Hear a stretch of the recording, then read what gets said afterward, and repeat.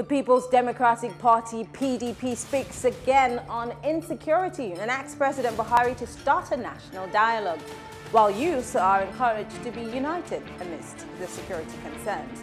And Governor Nyesom Wike imposes a curfew on River State to address the security situation of the state. Well, this is Plus Politics, and I am Mary Anna.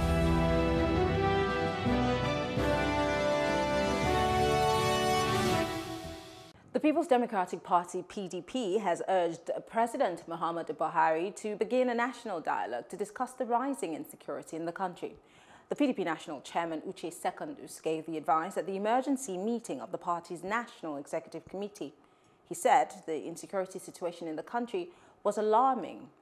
And also, the Nigerian youth have uh, been advised to stay calm and united amid the rising security challenges that the country is facing. Um, well, joining us to have this conversation, I have um, MC Abbey. He is a comedian um, and also someone who is an activist for social uh, justice. We also have uh, Reverend Father Edward Obi, a public affairs commentator, and Courage Nsirimovu, who is a legal practitioner. Thank you very much, gentlemen, for joining us. Thank you. It's good to be here. Pleasure to be here. Great. Honored. Great. I'm going to start with you, Father Obi, because I know that um, you work with a, a non-governmental organization and, of course, as a preacher and a man of the cloth, you obviously would be one uh, of those advocating for peace. But then we are experiencing a very, very disturbing level of insecurity and unrest um, in Nigeria as we speak. But then the PDP is asking for a national dialogue. Uh, explain to us what a national dialogue, what, what mode it would take and why it would be important if need be. Well, thank you, Mary Ann, for um, inviting me to this parley. And uh, thank you, listeners. Uh, thank you, uh, co-panelists. Um, I think uh, the PDP, in asking for a national dialogue, has not um, done anything wrong. Uh, I'm not a politician, so I cannot speak for the PDP. But what I, as an ordinary Nigerian, believe is that um, the state at which uh, the country is degenerating into um, very, very uh, dangerous times uh, is alarming. And any concerned Nigerian uh, should be uh, worried about the state of affairs of our country at this time. We seem to be living in a, a place that is near to anarchy at this time. And it seems like uh, political leaders have uh, have, have rejected the functions for which they were elected, for which they implored us to put them in power. And now Nigerians seem to be, uh, have been left to fend for themselves. So yes, I would concur with the PDP, either a national dialogue or something close to it that would actually, you know, um, uh, bring Nigerians to re-discuss and renegotiate how we wish to move forward in terms of our security architecture and everything that should bind us together as a nation. So I think the PDP is right in doing that.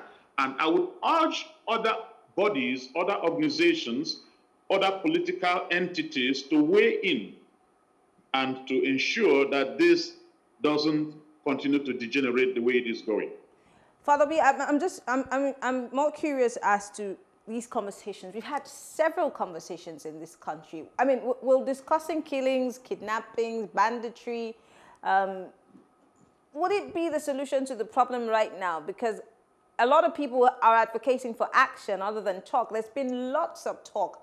There's been talking tough. There's been just talk. There's been lip service what change will this talk bring really in terms of what we're facing now? Because where we are, we're at the threshold of something really, really big that might just spiral out of control. So what will talk do for us right now? Um, yeah, I think not dialogue is not the solution at this time. Action should be what we do. But, but so far, we realize that um, the political authorities, especially those who in the country at this time, are not or seem unable or incapable of down the kind of force that is needed to um, arrest the situation at the present time. So that dialogue might be able to uh, get or perhaps put the proper pressure the right places to enable um, the interventions that we do to, uh, to, to do at this present time. Let me come to you. Dialogue is not a bad idea, but action is needed. If those who are able to precipitate that seem incapable or unwilling to do so, what else can we do? Hmm. Citizens are not allowed to bear arms on their own, the law into their hands. So perhaps that, with the uh, kind of uh, uh, with more political entities, uh, national figure being in, may be the real um, okay. that may bring pressure to bear on the powers that, okay. be at time. All right, let me go to MC Abbey. MC Abbey, you obviously are a comedian, but you use your craft, your art, to send messages. You have shows on the radio uh, that talk and address the issues that we're facing, whether they be social, political, in Nigeria. So he's talked about dialogue also being a pathway to helping solve the problem. But the level of insecurity that we're facing in Nigeria, according to the PDP spokesperson, Prince Uche uh, Secondus, is taking some form of uh, toll on our economy. It's taking a toll on our education. Now, people can't, children can't, can't go to school. Remember, there's a university in Kaduna State where students were abducted. So it's taking a huge toll on us as a country. Um, but let's talk about us as a people because it looks like we keep talking, but nobody gets to hear us. Now, the PDP seems to be awake to its responsibility as a political party, and now they're speaking. We've done a lot of talking. Can we be yeah. heard? Will uh, we ever be heard? And the actions that we need to match this, can it be found under this administration? Well, it, this is a, very, very cogent uh, question. And um, uh, like you said, there have been a lot of talks and, and uh, back and forth uh, that has not um, yielded the necessary result. Uh, and I don't think um, uh, there, there's, there's no problem if we have more rooms for talk, but the, the, the, the bottom line is implementation of what is discussed. We, we have a problem of leadership. We have a problem where our leaders don't take the lead, where our leaders have decided to uh, uh, turn their, their faces to the other side and allow things to, to just go on uh, a whole lot of insecurity all over the nation, from the north to the south, to the east to the west. It, we, we, are, we are sitting in a keg of, of, of gunpowder. There's an implosion already in, in the country, and, and people are just waiting for the next move to cause an explosion. Things are happening everywhere, and our leaders are not taking the lead. I mean, we, we, we sit here, we look at these things and we observe. We know that if the security agencies, if they if they do what is right, they will, they, they, we, can, we can achieve uh, uh, uh, results. But, but, but, but can, can, can, I'm sorry, MC Abbey, can we, can we leave that responsibility solely at the feet of security agencies? Let's not forget that these people also are at the mercy of the executive. Um, remember, yeah, we were all in said, this country said, where, where if, for the first if, time, if soldiers put out a video saying that they were... their part. Yeah. Okay, but they, they are playing their part. The fact that they have, and I'm not in any way spokesperson for, you know, the military, but they are, the fact that they've decided to step, uh, you know, uh, just by enemy lines to fight for us is them playing their part. But what about what they need oh, yeah, no, to kudos, carry out kudos that to the Kudos to the soldiers. Kudos to the military, uh, military forces. I'm talking about the government. If the government themselves, the, the, the executive, if the leadership of the country play their part towards the, the, the, the security agents and towards Nigerians, we will, we, will, we will solve this issue, right? Because to me, I feel the problem lies with our leadership, not even with the security agencies, lies with our leadership. You can imagine how much is being budgeted every month or every, I don't know how, how often they do that, for, for security, the vote or security vote, and what they do. Look at look, our security agencies are not well equipped. There's no proper information uh, uh, uh, gadgets that, that for, for, them to, to tackle the issues. And our, our leaders are there folding their hands like as if nothing is happening. Mm. You understand? And and you bring it to them, they, they, they, will keep saying the same thing that they've been saying for donkey years. Uh, we are we are on top of it. We are looking into it. Uh, we have we are setting up a committee, and they will set up another committee to look into the committee. All kinds of crap. Well, that's all kinds of crap because nothing is happening from there. Hmm. Today they will come.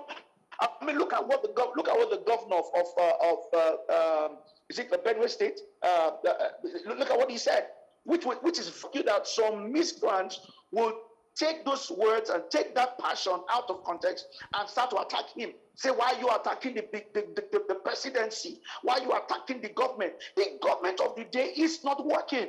The government of the day is not functioning. They failed us.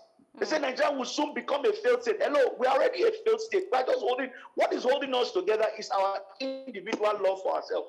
Nothing more. Interesting. It is it is a terrible case, and if we don't make that decisive move from the from the uh, from the government, if the government don't take that stand, no matter how how, how, how, many times we, we meet and dialogue and dialogue, the, the, the, the ball falls in their court for them to make the necessary decision, uh, uh, make necessary move that that is discovered or, or, that is uh, uh, gotten from the dialogue. Okay. Do you understand? A lot of talks have been back and forth. What I mean, the government their, their hands are just like this, hmm. and they cannot see that they don't know what's happening. They can't see. They don't, they don't, I mean, all over the country, if it's not kidnapping, it's the bandit. If not bandit, it's Boko Haram. Not Boko Haram is is one thing. It's just there's problems everywhere. All right, let me bring let me bring Barrister Courage into the conversation. Uh, there have been national conferences, just like I said to Father Obi. Um, we've had the national confab. There was one under the Obasanjo administration. Goodluck Jonathan did have one, um, and really, we've not really seen anything done with whatever resolutions that were, you know, made at the end of the day. So again, it makes an ordinary taxpayer wonder why there should be another convergence uh, of whatever we want to call it, a national dialogue, uh, a town hall, a national town hall, if there's nothing that would be done with the resolutions, even if, even if it's one that is being used or implemented, uh, if we don't see the body language of the government as one that wants to make use of those ideas that are put together and placed before the table of Mr. President, why waste taxpayers' monies on it? And, and do you believe that that's what we need right now? Or maybe we should be going another route? Um, thank you for that um, question. Um, of course, we've had um, national dialogues. The question is um, what were the outcomes of those national dialogues? And are they relevant in um, the present day? Um, so, you know how the Bible says, Come, let us reason. I don't think um, it's um, actually a bad call from the PDP for us to have um, a national dialogue. Um, but the question. Uh, Courage, I think we're losing you there. Um, I'm going to take this question back to uh, Father Obi. Uh, if we really are ready to fight this insecurity, because I always think, I, am sorry, um, Courage, I'm, I'm sorry, I think we have to deal with Courage's uh, internet and then we'll get back to him. Um, so Father Obi, I was asking, if we really are ready to fight insecurity, uh, why aren't we doing so? Why, do, why does the government of the day who took an oath to protect and to um, protect us, our properties and our lives, wait for us to scream and, uh, and cry out to them to deal with this issue of insecurity. Is this not a pointer to the fact that maybe because it's not hitting close to home, government is not prioritizing our safety? I might be wrong, but you could correct me.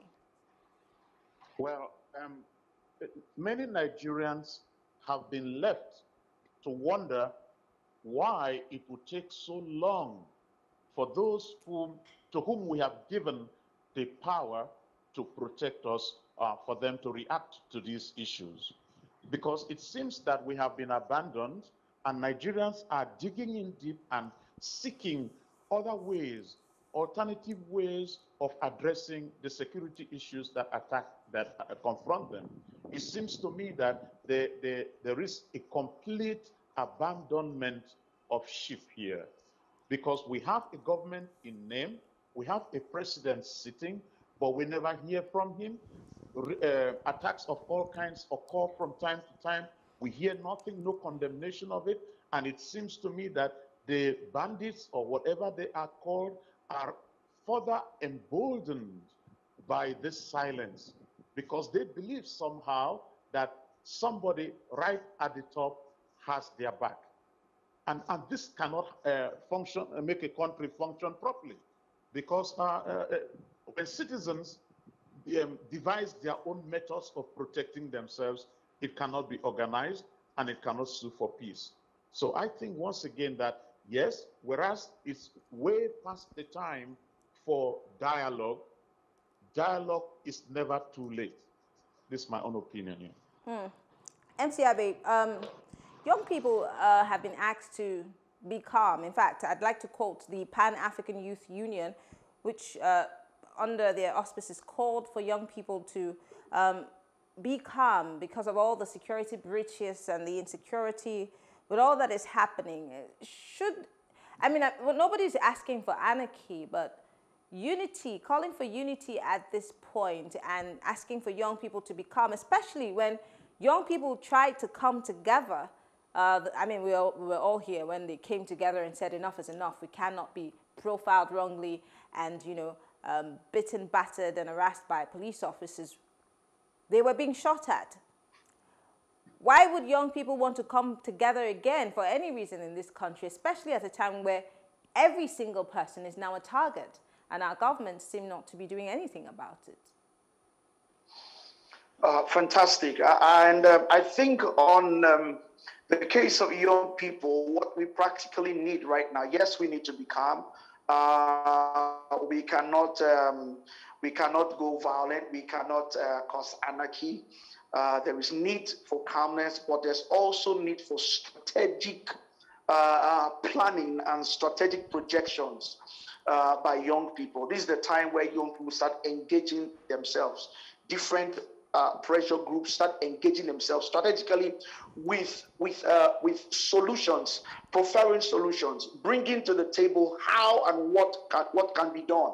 Uh, um, this is the time we need to speak uh, truth to power uh, on the the, uh, the the situation of the nation. We, we this is the time we need to stand for what is right and and do it in, in such a strategic way that we don't come out being violent. We need to we need to lend our voice. We need to keep speaking. We need to have that optimism of hope that uh, Nigeria will be better or can be better again. Because I mean, this is the only country we have. It goes down, we all go down. If it burns down, we all burn. But we, we need to devise um, uh, uh, a better means of, of approach. Uh, no more violent route, but a, a more strategic think tank, engaging ourselves, uh, projecting ourselves, and positioning ourselves towards uh, a better Nigeria. And I think if we do that uh, now, it would uh, it, it would add give us more credit and and put the put give a, a redirection or refocusing of the nation because a whole lot of things have to be talked about. You know, they, they, when you try to shut the young minds from speaking truth uh, they, what they don't understand is they are, they, are, they are trying to cut short the, the destiny or the future or the power line or the fuel of this nation you know? And we will not we will not subject to that. We will not agree that we'll be, our, our mouth should be shut. No but we'll speak truth to power. Mm-hmm. we should start engaging ourselves talking about the unity of this nation. How can we be united? What's about restructuring? What, where, where, where is the place of the constitution? Are we going to have a new constitution? What is the move of getting a new constitution? What are we talking about? I, I mean, should we talk about, should, should we engage our, our, our, our, the different units of the, of the nation? Let's know if we really want to stay together. let's know if we if we are if we are have agreed to be one. Let's let's have a dialogue. Let's let's discuss on how can how can we uh, uh, uh have a fair share, uh, uh, uh, being together as, as as one. What are you contributing? What am I contributing? Mm. What what what what what are the red flags? Where, where are the, the, the, the lines that should not be crossed? Let's have this conversation. Let's engage ourselves, engage our minds. The, eh, not, not, not, not, not just in, in the place of, of leadership uh, uh, uh, uh or, or, in government alone, but leadership in, in, in, uh, in development, leadership in IT, leadership in, in uh, uh, uh, uh, what, um, what, what, what, what, I'm, I'm short of words, but leadership in, in, okay. in, in, structural development. Let, okay. let's positioning the country in, in, in, the, in, this, in the place where the globe would look at Nigeria and they would love to, to, to, identify with us. We need to we need to do image laundering. We need to we need to clean up our, our mess. We need to we need to project our strength. We need to show for the things that, that we are good at. We okay. need to celebrate them. We need to empower ourselves. You know, look at look at SMEs. I mean, it's it's it has been bastardized in these countries. In this country, nobody's empowering. I mean, uh, uh, entrepreneurs. Entrepreneurs are just there working hard for themselves. The government is not doing. It. We need to engage ourselves and start talking about things, talking about these uh, uh, these issues, so that we can have a, a drive, a focus, you know, and position ourselves correctly to if I permit me to use the word to take over, yes. Okay. I mean, I, I think it's the right time. If the time is right for that to be. Okay. You know, let, right. let bright minds take over. All let right. bright minds be in place of, of authority. All I mean, right. it's it's it's high time we do that. I, yeah. I, I hope that courage is back with us. Courage, are you there? Can you hear me? I can hear you clearly, clearly. Perfect, perfect. Great, great, great. So let me pose this question to you. Um, the very famous and somewhat controversial um, man of the cloth, Reverend Father Mbaka, is back in the news now, and he's been asking for the president to step down because uh, of his inability to handle the, the situation in the country as per security. Um, he's also um, asked that the National Assembly impeach Mr. President um, because he has been incapable of keeping the people of Nigeria safe. Now, not just that, the APC has responded with swift, uh, uh, well, swiftly, they have responded to Father Mbaka. In fact, they have threatened to expose him. But then, of course, let's talk about communication and how it flows within this government and, and their response towards issues, be they, be they interesting, be they expedient, be they important, and uh, sometimes maybe trivia. Uh, in this case, what should have been the response of the government in dealing with this kind of situation? and, and the response that the government is giving, does it reflect a government that's really willing to do the beating of the people and to secure the lives of their people? Or is it just a government that's more interested in how people speak to them or how people address them? First of all, our um, Father Mbaka, as a citizen of the Federal Republic of Nigeria, he has the right to oh dear, I think the freedom of expression. It's a legal call. The call he has made is a legal call.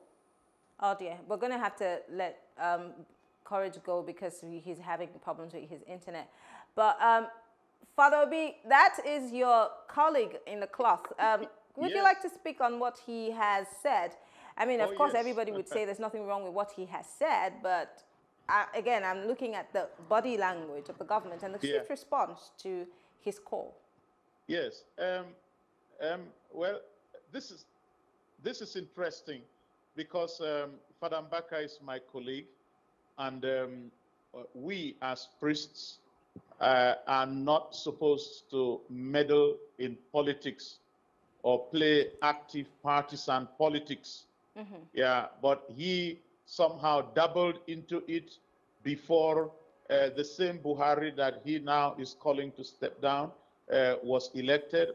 And then since then, he has remained in that fray, occasionally uttering uh, things uh, positive or negative against the incumbent. Now he is being threatened naturally. If you dance with a pig, one day the pig will pull you into the mud. Whereas the pig will enjoy the mud, you might not find it funny at all. That perhaps is the situation that Father Mbaka finds himself now. But picking up from what my other panelist was saying, um, yes, as a citizen of this country, we all have the responsibility to, to nurture our country, to nurture thought, to direct our thinking towards what is right. If he has the inspiration and the boldness to ask Buhari to resign, um, this is not an unusual thing. Citizens in other countries, uh, in better climes, uh, do not even have to ask their uh, political officials to resign. Those officials resign as a matter of their own integrity. So I, I think um, I could join my voice to him by asking the president, since he has demonstrated so manifestly uh, the incapacity to contain the violence or check the insecurity, perhaps he should just bow out honorably and leave others who perhaps have a better idea to, on how to run things to step onto the fray.